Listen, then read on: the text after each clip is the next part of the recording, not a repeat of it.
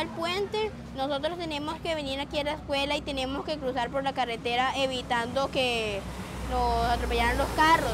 El puente lo usan eh, mi mamá, eh, las mamás de los niños de kinder, algunas, la mamá es de todos los grados, la mayoría.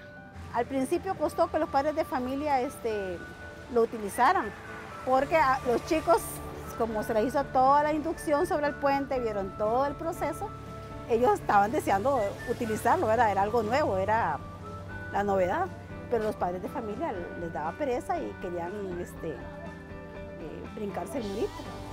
Entonces era muy peligroso, pero ahora ya gracias que construyeron el puente ya podemos pasar sin peligro. Yo hice el dibujo del puente para motivar a muchas personas que, que a pesar, digamos, estuvieron como varios meses de que hicieron el puente y todavía algunas personas no lo utilizaban, sino que se cruzaban el muro.